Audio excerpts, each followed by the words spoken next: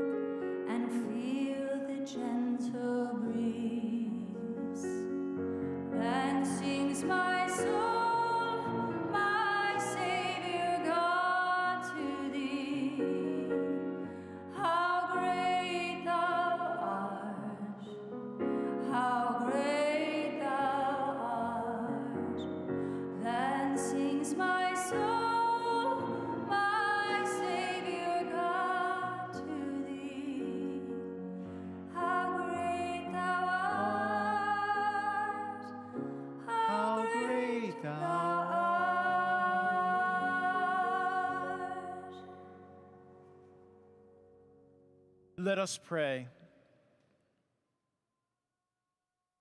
Eternal and loving God, you made the union of man and woman a sign of the bond between Christ and the church. Grant peace and mercy to John, who was united in love with his wife Patty. May the care and devotion of his life here on earth find a lasting reward in heaven. Look kindly on Patty and the children as they turn to your compassion and love. Strengthen their faith and lighten their loss. Through our Lord Jesus Christ, your Son, who lives and reigns with you in the unity of the Holy Spirit, one God forever and ever.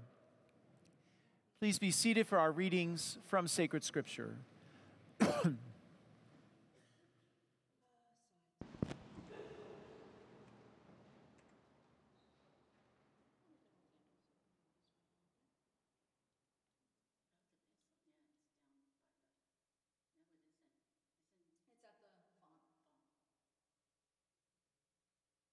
A reading from the book of Revelation.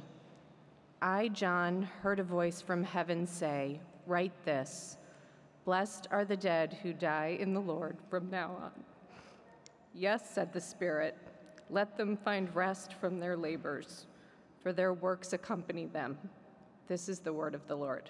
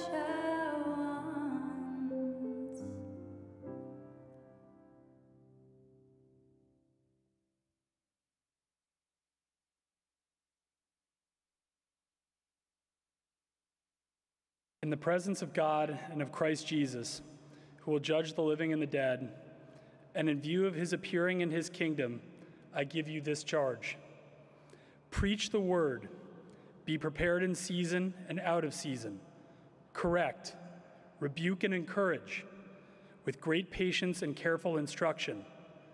For the time will come when people will not put up with sound doctrine. Instead, to suit their own desires, they will gather around them a great number of teachers to say what their itching ears want to hear. They will turn their ears away from the truth and turn aside to myths. But you, keep your head in all situations, endure hardship, do the work of an evangelist, discharge all the duties of your ministry. For I am already being poured out like a drink offering, and the time for my departure is near. I have fought the good fight. I have finished the race. I have kept the faith. Now there is in store for me the crown of righteousness, which the Lord, the righteous judge, will award to me on that day. And not only to me, but also to all who have longed for his appearing.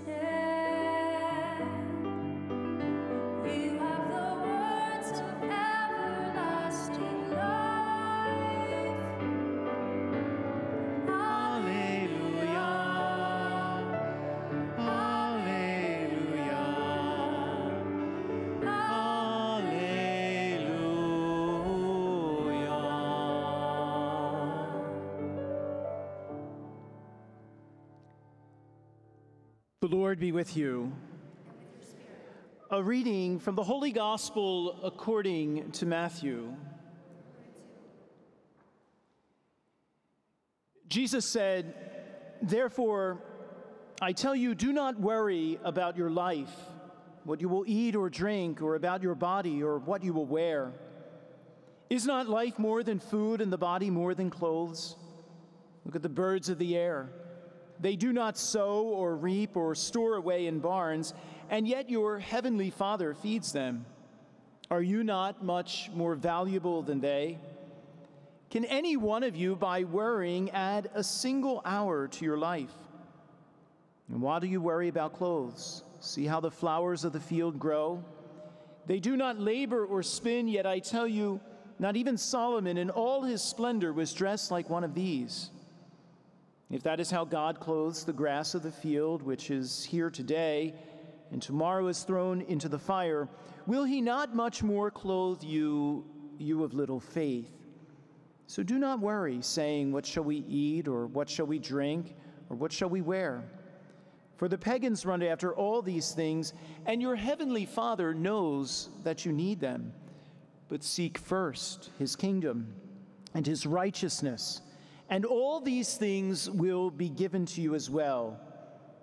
Therefore, do not worry about tomorrow, for tomorrow will worry about itself. Each day has enough trouble of its own. The Gospel of the Lord.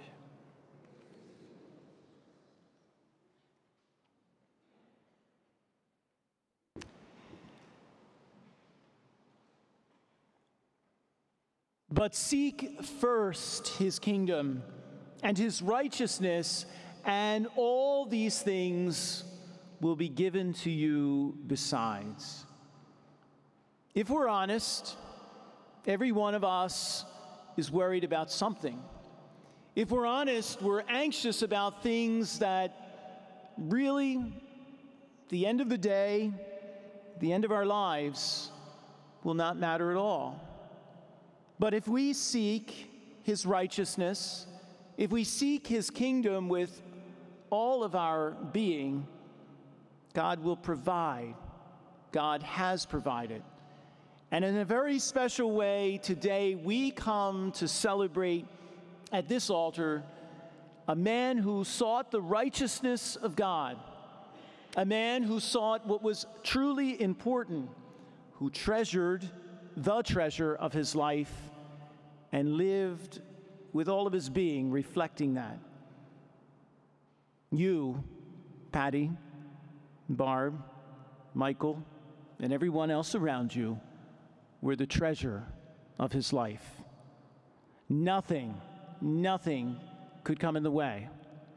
And his righteousness was often given to you in the lessons of life in the lessons of marriage. Although, Patty, I have to say, when you shared with me why you married John, unsolicited, uh, actually, it was a checklist.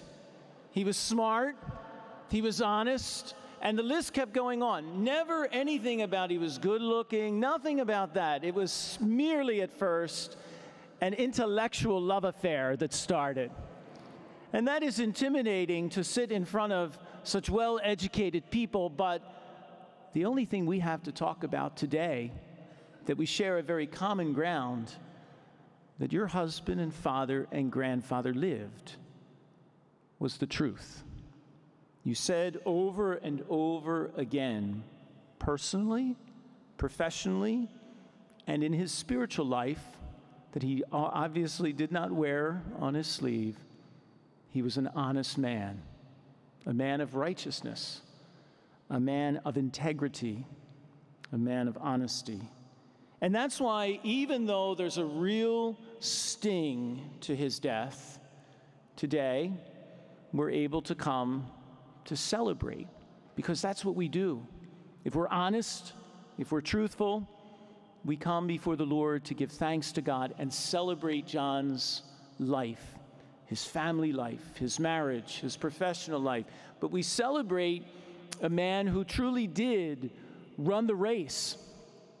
Not just the race of the streets, my encounters with John Rittinger were always on the street, always running, and I'd say hello, and he'd just keep running. I was intimidated at first, again, because I realized, with all due respect, there was no small talk with your dad. And you knew very, very quickly where you stood, but more, more quickly than that, you knew where his family stood. You were everything to him. And this man who on the surface looked so serious and so stern was yet the biggest joker going. The pictures reflect that. Your memories reflect that. And they will continue to reflect that. Today, for us in faith, reminds us that he's not dead, he's not passed away, he's not gone. He's fully alive, alive in the embrace of Christ risen from the dead, alive in paradise, alive in the fulfillment of the promise of a life well lived. It said at those beautiful words of the, Paul, the letter of Paul to Timothy that I'm already being poured out. He poured out his whole life for you, he poured out everything for you. And now he enjoys the true treasure of a life of giving, a life of sacrifice, a life lived for others. You know, it said he fought the good fight, fitting for a lawyer, not an attorney. I was trying to fathom those lines for those of you that are attorneys here. Today, you're just a lawyer among lawyers. But today, we celebrate a man who fought for the truth, who fought for his family, who fought for integrity. And with John's death, there's something missing in the world. Because people of integrity, people of truth, people of honesty, people of faith, people of family, people that treasure what's truly important in life are hard to come by. But today we celebrate a man who gave us a family, and you will continue that legacy. You'll continue to live that honesty, integrity, that truth, that good humor, that fun and games behind a stiff and stern face at times. The man who ran so as to win. The man who lived life to the fullest, not just a cliche that we use at a funeral, but he truly did. Patty, when you recalled the day before he died, it was, uh, there was a part of sadness, but to be very honest with you, there was a, an envious part of all that he did in just one day. In one day, he was able to enjoy the gift of retirement, enjoy your presence, enjoy life, life to the fullest. I do have to say, since you shared so much about your life, starting at St. Bonnie's, at Notre Dame, your love affair that spanned five decades, I have to admit, you must have had some of the most extraordinary conversations, but some of the oddest conversations as well. Patty shared with me that John and her last conversation. I think the kids called it fight, but we'll call it a conversation since we're in church. Was do the words either or and and mean the same thing? That has perplexed me for the last 48 hours. And really, that was your last conversation.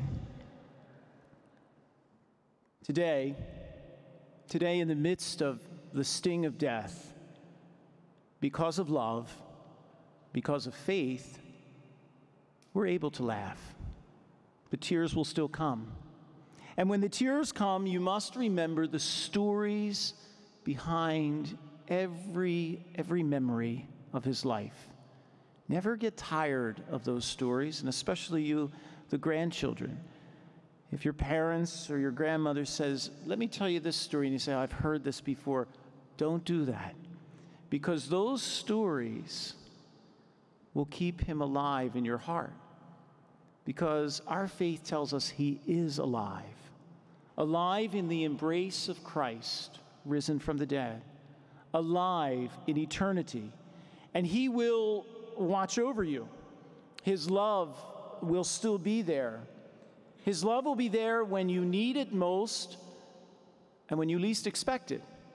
His love and guidance and all those things that He taught you that you wanted to learn, and let's be honest, that you didn't want to learn, will be reminded in the moments in the years ahead. Treasure those. And I often say, and believe with all my heart, you have to be good. Because now he sees everything you do. And I'm not worried about the grandchildren, Mike or Barbara. I'm worried most about you, Patty. He sees everything you do. Seek first his righteousness, and all these things will be given to you. John Rittinger in his life gave many, many lessons life lessons, family lessons, law lessons, lessons of the school of hard knocks, and lessons that will never, ever leave you. But I believe the greatest lesson that many of us witness today is that he treasured his family, treasured his friends, treasured his faith. And that's such a lesson for us to learn. That when death comes so quickly for someone so full of life, we have to learn to treasure what's important and value and give renewed value to the treasures of our lives. We celebrate a man who did that unto his last breath. And we, because we've gathered here today to celebrate in faith and thanksgiving, but also to celebrate a man's legacy we must take something. The only way you can have a legacy and hand it on is that we take something from it. Do we treasure the gift of our family and friends enough? Have we held back on doing anything that we've not wanted to do? Have we not reached out to a family or friend? Is there something still on that bucket list waiting for us to do? A part of celebrating John Rittinger's legacy is to go and do it. Run so as to win. Fight the good fight never give up. Today, we gather at this altar. And at this altar, we are a people of thanksgiving, but we are also a people nourished with the gift of hope, nourished with a Savior who never abandons us. And we are nourished by the same Savior who came the other day and said, John, come to me. And it's very important that you know, remember, and value this in faith. He was not alone, Jesus was there. And Jesus said, John, come. And he took him by the hand and took him home. He took his soul into the joy that he promised him. So for today, we celebrate. Amidst the tears, we're able to, cr- we're able to laugh. Amidst the laughter, we still find the sting of missing him. And that will be our human condition until, until we are all in the embrace of Christ, where John will greet us at the door of paradise, where he will welcome us. It won't be this big, gregarious welcome, but it will be John Rittinger, and it will be his love for you and for everyone. Let us today in his legacy, truly seek the things that are important the truth that sets us free, righteousness and integrity, and truly to be people that treasure family and friends. Run so as to win. Fight the good fight, and not for the crown of this life, but for the crown that he now wears in the glory of heaven.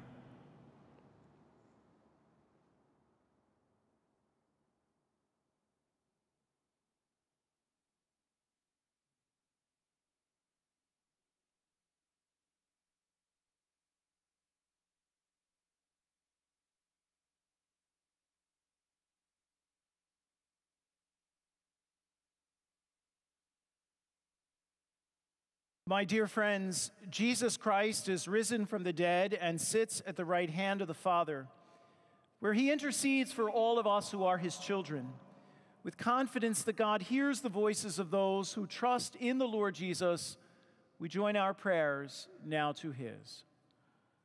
For John, who in baptism was given the pledge of eternal life, that he may now be admitted to the company of the saints, we pray to the Lord. Lord, Lord hear, hear, our, prayer. prayer. For our brother, who ate the body of Christ, the bread of life, that he may now be raised on the last day, we pray to the Lord. Lord, Lord hear, hear, our, our prayer. prayer. For our deceased relative and friends, and for all who have helped us, that they be now rewarded for their goodness, we pray to the Lord. Lord, Lord hear, hear, our, prayer. prayer. For those who have fallen asleep in the hope of rising again, that they may see God face to face, we pray to the Lord. Lord, Lord hear, hear, our, prayer. prayer. For the family and friends of our brother, that they may be consoled in their grief by the Lord, who wept at the death of his friend Lazarus, we pray to the Lord. Lord, Lord hear, hear, our, prayer. prayer. For all assembled here to have here to worship in faith, that we may be gathered together again in God's kingdom, we pray to the Lord. Lord, Lord hear, hear, our, prayer. prayer. For all who serve in law enforcement and the armed services, that the Lord will bless and protect them as they protect us. We praise the Lord. Lord, hear, our, prayer. Loving God, giver of peace and healer of souls, hear the prayers of the Redeemer Jesus Christ and the voices of all your people whose prayers we offer through Christ our Lord. Please be seated for the presentation of the gifts.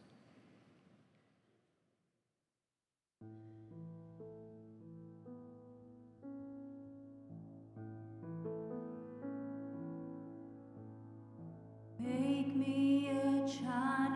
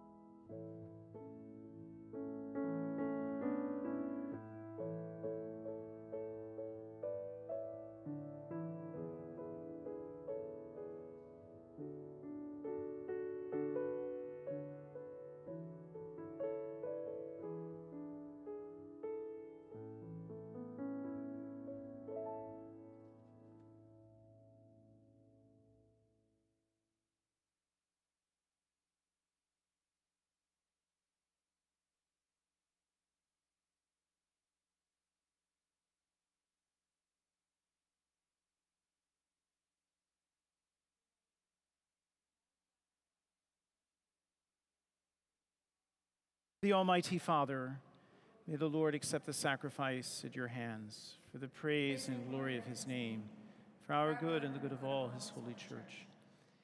As we humbly present to you these sacrificial offerings, O Lord, for the salvation of your faithful and loving servant John, we beseech your mercy that he who did not doubt your Son to be a loving Savior may find in him a merciful judge who lives and reigns forever and ever. The Lord be with you. Lift up your hearts. We lift them up to the Lord. Let us give thanks to the Lord our God. It is truly right and just, our duty and our salvation, always and everywhere, to give you thanks, Lord, Holy Father, Almighty and eternal God, through Christ our Lord. In him, the hope of blessed resurrection has dawned, that those saddened by the certainty of dying might be consoled by the promise of immortality to come. Indeed, for your faithful Lord, life is changed, not ended. And when this earthly dwelling turns to dust, an eternal dwelling is made ready for them in heaven. And so, with angels and archangels, with thrones and dominions, and with all the host and powers of heaven, we sing the hymn of your glory as without end we acclaim.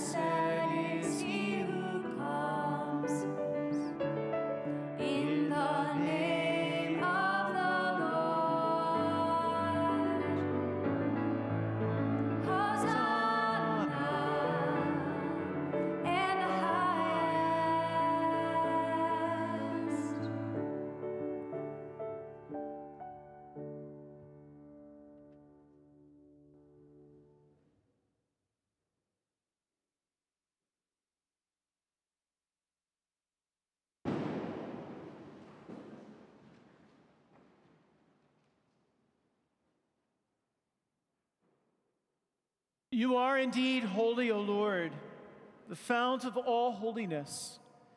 Make holy, therefore, these gifts, we pray, by sending down your Spirit upon them like the dewfall, so that they may become for us the body and blood of our Lord Jesus Christ. At the time he was betrayed and entered willingly into his passion, he took bread and, giving thanks, broke it and gave it to his disciples, saying, Take this, all of you, and eat of it. For this is my body, which will be given up for you.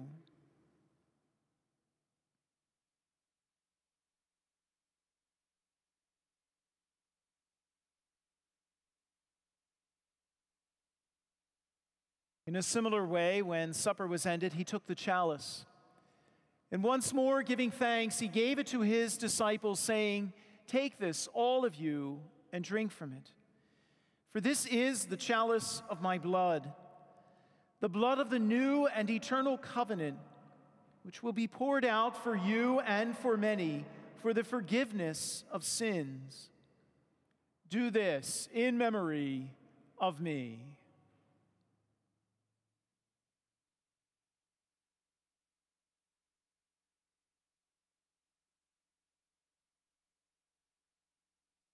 The mystery of faith.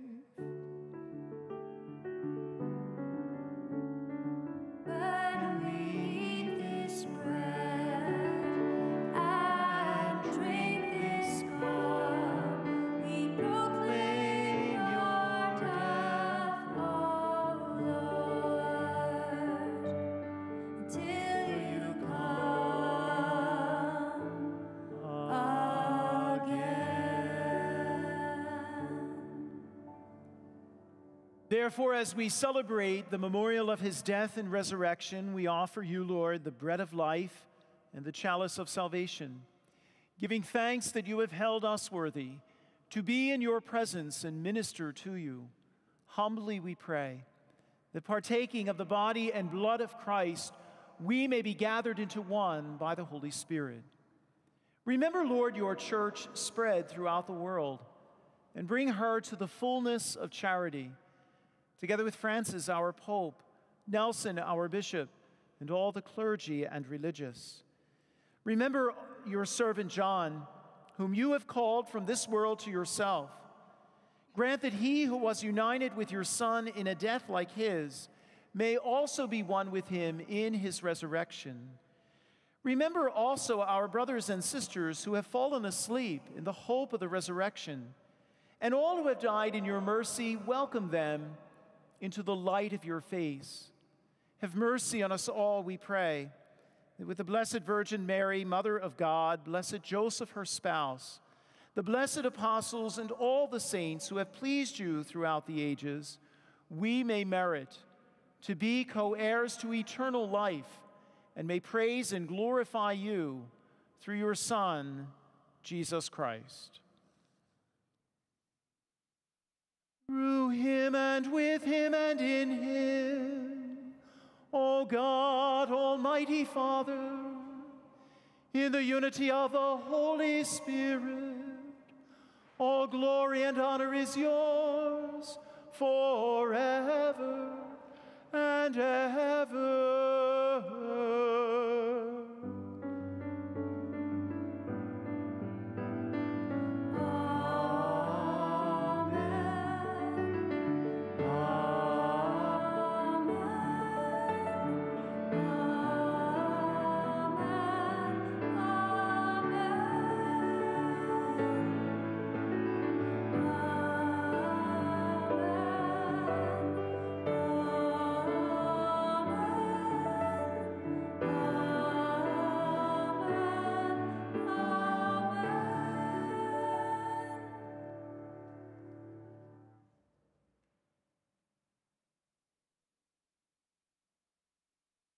My friends, at the Savior's command, informed by divine teaching, we dare to say, Our Father, who art in heaven, hallowed be thy name. Thy kingdom come, thy will be done, on earth as it is in heaven. Give us this day our daily bread, and forgive us our trespasses, as we forgive those who trespass against us. And lead us not into temptation but deliver us from evil. Deliver us, Lord, we pray, from every evil. Graciously grant peace in our days, that by the help of your mercy, we may be always free from sin and safe from all distress as we await the blessed hope and the coming of our Savior, Jesus Christ. For the kingdom, the power, and the glory are yours, now and forever. Lord Jesus Christ, who said to your apostles, Peace I leave you, my peace I give you. Look not on our sins, but on the faith of your church, and graciously grant her peace and unity in accordance with your will, who live and reign forever and ever. Amen. The peace of the Lord be with you always.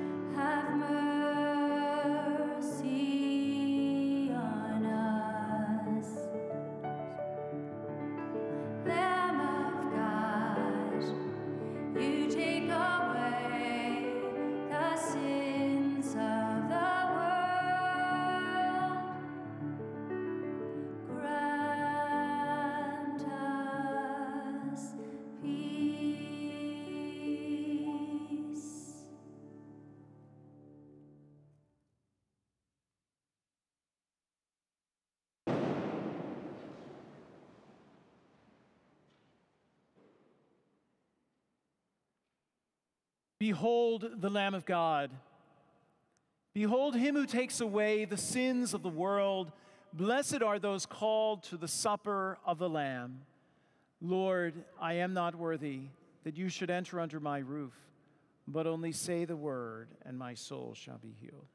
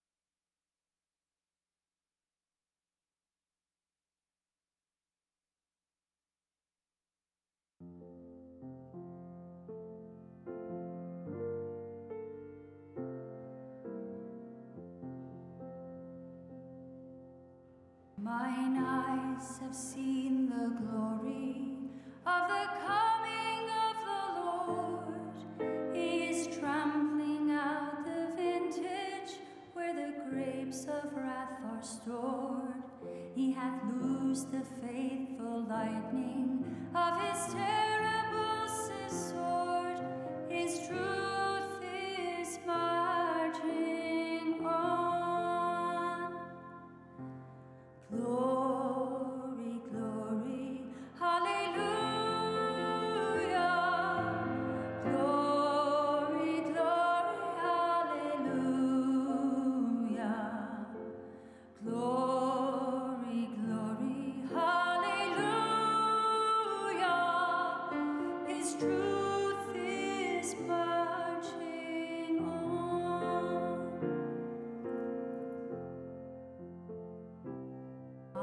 I have seen him in the watchfires of a hundred circling camps.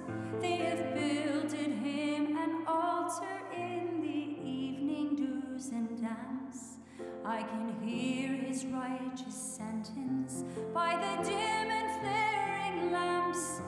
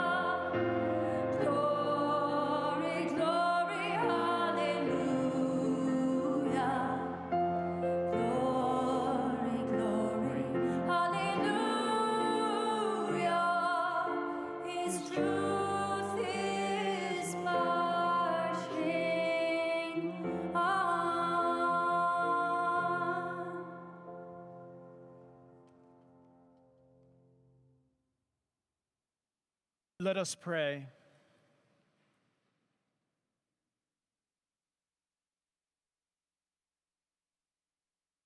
God of loving kindness, listen favorably to our prayers.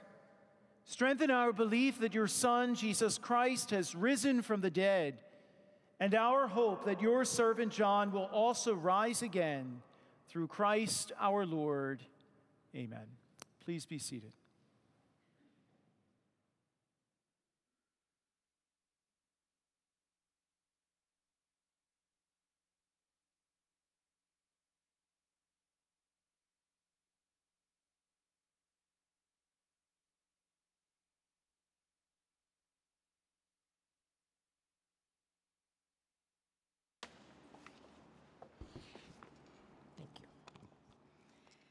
Thank you all for coming.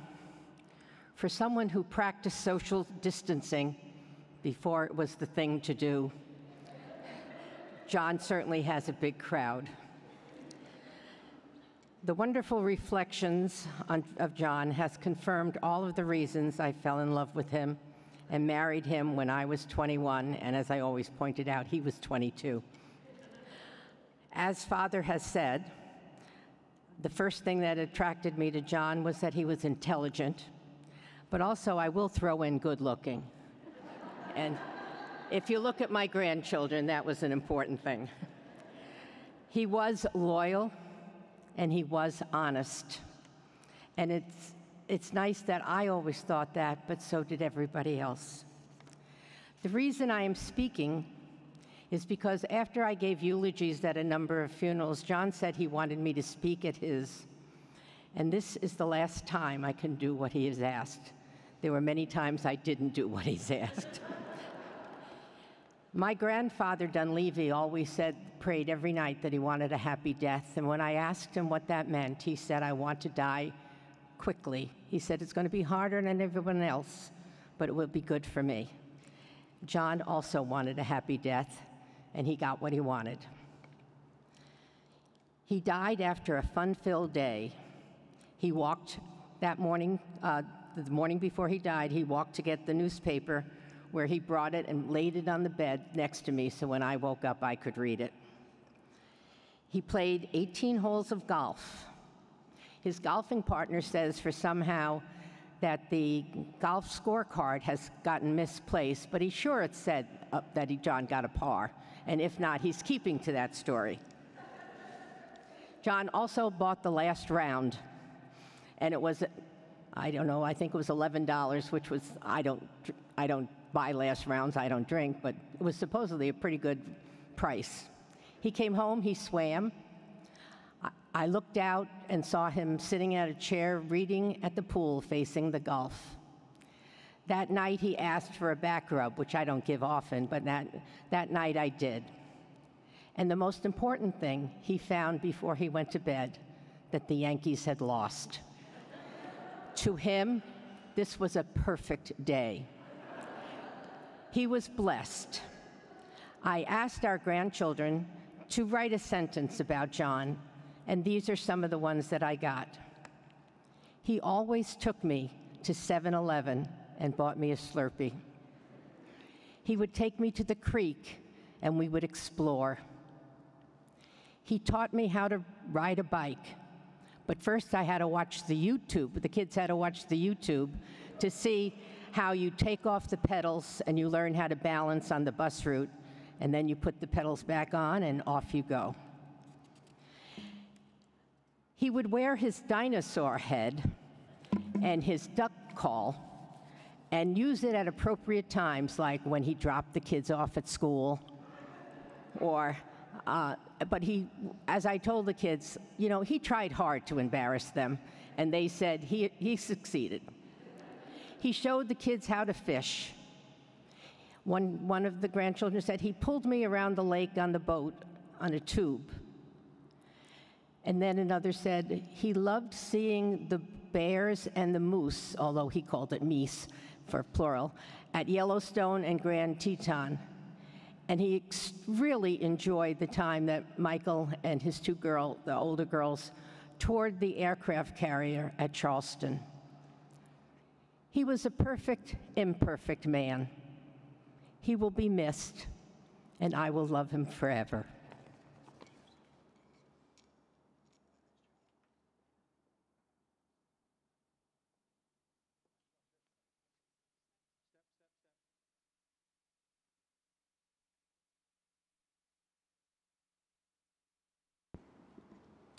I am Michael Rittinger, John's son. Thank you all for coming today.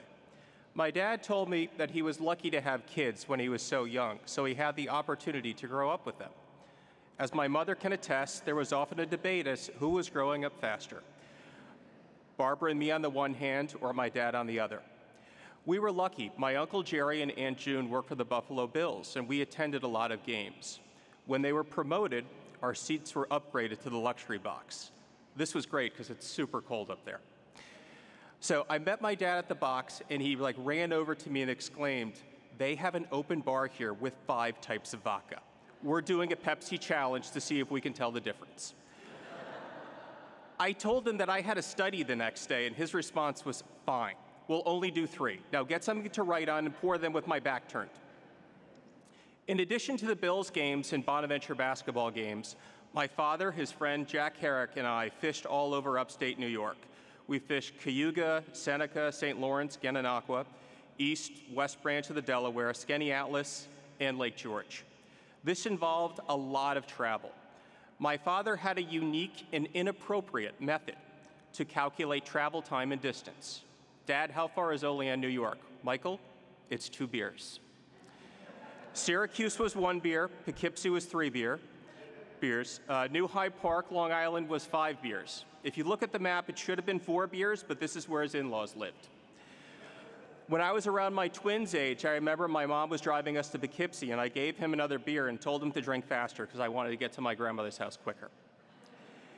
As my mother was a high school math teacher, she was out the door early, and my father was responsible for getting us to school. I guess you can say that this made my sister and me self sufficient he wasn't going to be late to work.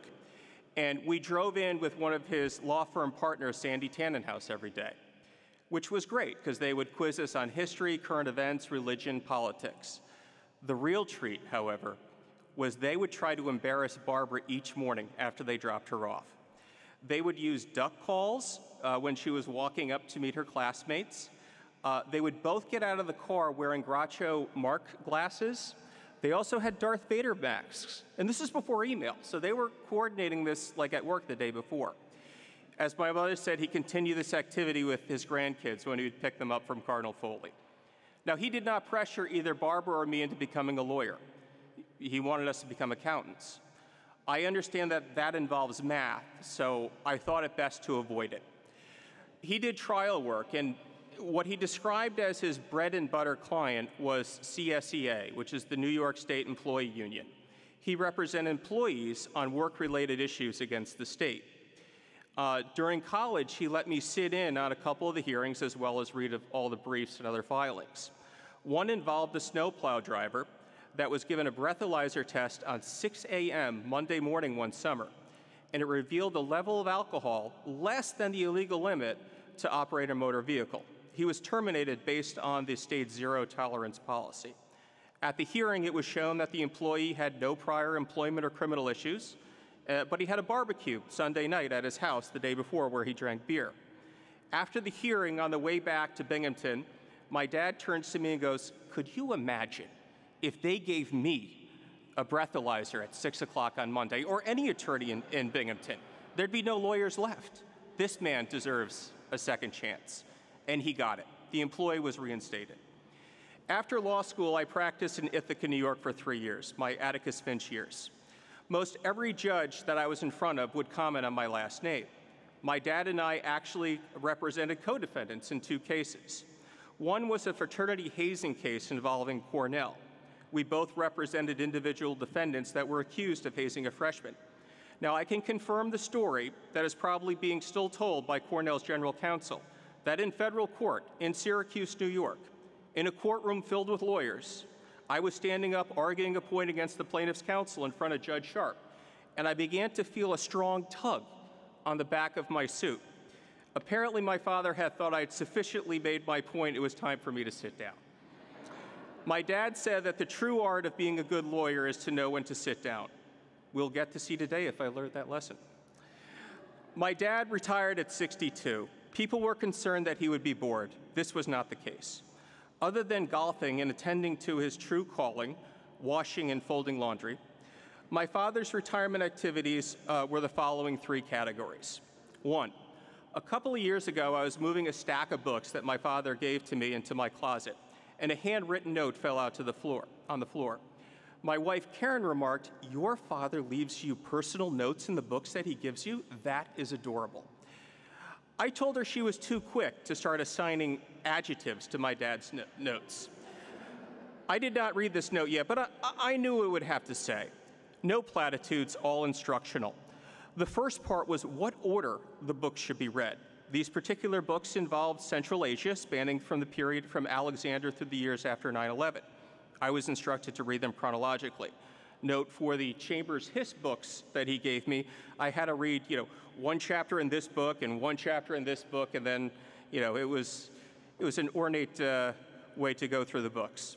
As for the balance of the note, he explains that he changed in pen the name of a British Parliament member from the 1800s to the name of a former U.S. Secretary of State because he thought that they had the same misguided positions in Afghanistan. I will need to retire early so I can catch up on my reading assignments. Second, I received a text from my father to stop over at his house at Ardmore after work. It was September. I showed up and asked what he needed help with. His response was, Michael, you know that Mariano, uh, Mariano Rivera is the best closer of all time. I mean, there is no way he could blow a five run lead going into the ninth inning, right? Grab a beer. You have to watch this. He would record the Yankee games and then only watch them with glee if they lost. Third, he was focused on his grandkids. His love for his grandkids was so gentle and unconditional, Barbara and I thought he must be a different person from the man who told the school nurse in Binghamton that Barb was going to need to tough it out and no, he would not pick her up early for a mere broken finger from school. Alex, Kira, Gracie, Reagan, Shannon, Bridget, and Finn, you are better people for knowing him, and we pray that you have a bit of his grit. I cannot conclude without mentioning the most formative experience of his life my mom, General Patty. You outranked him. They met basically as kids at St. Bonnie's and spent their entire adult lives together. For all his sarcasm and irreverence, she was his anchor. Without her, his life and the life of generations would not be what they are today. He was lucky to call her wife, and we are lucky to call her mom and grandma. In closing, I was fortunate to spend a lot of time with him. I remember, this is a shock, I remember being at an Irish bar with him a couple years ago between basketball games. This may be a surprise to you, but this one time he actually exhausted the conversation regarding Bonnie's basketball and his hatred of the Yankees. We spoke of death. He told me that he had a complete life and was not afraid to, to die. Being a trained inquisitor, I asked him if he had any regrets, knowing that I had a list involving me if he came up short on the question. He said he did. I'm like, well, this could be good. What do you got? Apparently, in addition to his other jobs that were essential to the war effort of making sure that the Officers Club bar was fully stocked and also arranging for basketball games, my father was the property officer for the province in Vietnam where he was stationed. This means that he was responsible for adjudicating claims by civilians that claimed the U.S. Army caused them property damage. A farmer close to his base came in to see my dad, the captain, or a Vietnamese Dai Uy, with a claim. My dad, Dai Uy, learned through the use of an interpreter that the farmer's water buffalo was killed by, at least as it pertains to the animal, effective indirect fire the day before. This means that a mortar artillery round took out the water buffalo. Now, it's important to note that this farmer, a water buffalo is analogous to an American tractor, a truck, and they even milk them. It's, it's very important for their farming operation. The Army, being the Army, had specific regulations regarding compensation for property damage payable to civilians. It provides that if the U.S. Army shoots the water buffalo, we'll pay you full price. If the enemy shoots the water buffalo, the U.S. Army does not pay. My dad confirmed that his base had no outgoing rounds in that sector the day before and determined that it was a VC round, probably meant for his base, that must have got the water buffalo. Dai Uy, with the help of the interpreter, explained this legal nuance to the farmer and advised him that he would not be receiving compensation. The farmer's reaction to this determination, in, color, in colorful Vietnamese and choice words in English and French, was clear without the need of an interpreter. The farmer was removed from the base by the MPs. My dad left the country several weeks later. He told me at the Irish bar, Michael, Leavenworth is a real place, and I really don't want to go there. But all things being equal, I should have got that farmer some money. I hope you found him and got his forgiveness, Dad. We will miss you. My mother, sister, the rest of our family, thank you again. All of you are encouraged and invited to attend uh, after this for adult refreshments and lunch at Poxon Hollow uh, Golf Course, which is only three or four sips of Budweiser away. Thank you.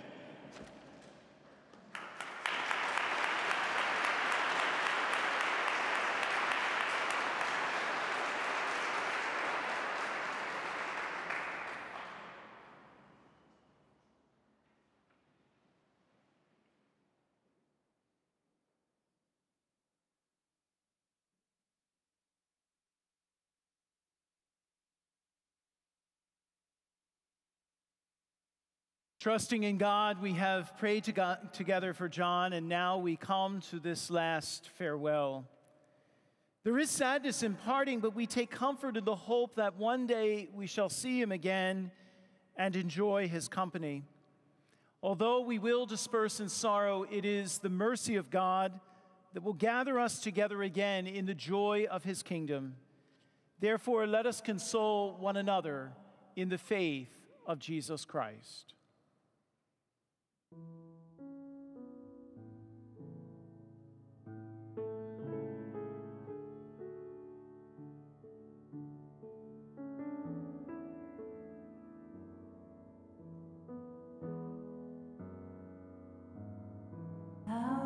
Servant. May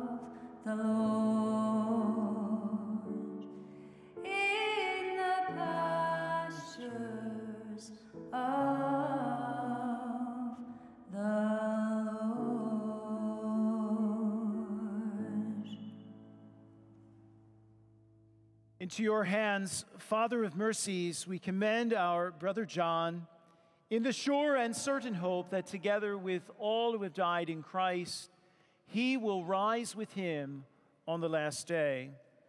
We give you thanks for the many blessings which you bestowed upon him in this life, for they are signs to us of your goodness and of our fellowship with the saints in Christ. Merciful Lord, turn toward us now and listen to our prayers.